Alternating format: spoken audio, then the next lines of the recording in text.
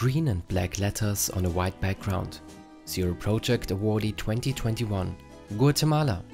Blind and Deaf Committee, Labor Inclusion. Lottery funds for employment support of people with hearing or visual disabilities. What is Labor Inclusion Program about? Maria de Los Angeles Soberanis Aguirre de Rueda.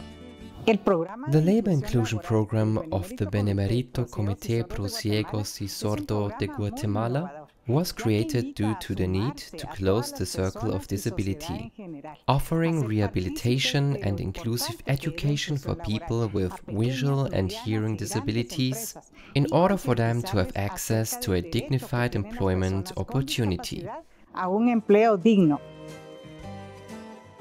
What is unique and innovative about Labor Inclusion Program?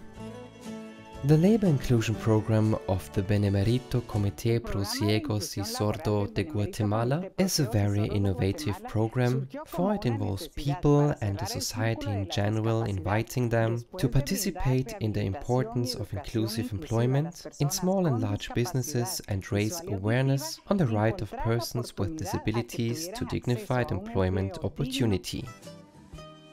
How did this solution change your life? Dennis Itzeb, storage assistant, he's using sign language. When I came, my mom and I were excited. I was interviewed and with the help of an interpreter, I got the job and I'm very grateful for the entire process.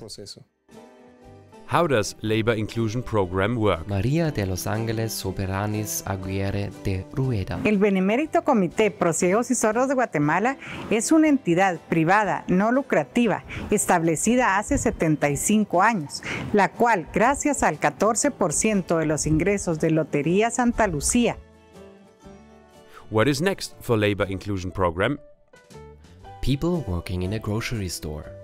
Las personas con discapacidad visual y auditiva requieren de constante actualización, capacitación y el uso de tecnología para estar vigentes y adaptarse a todos los procesos de inclusión laboral y así demostrar que la discapacidad no significa incapacidad. Zero Project for a world without barriers.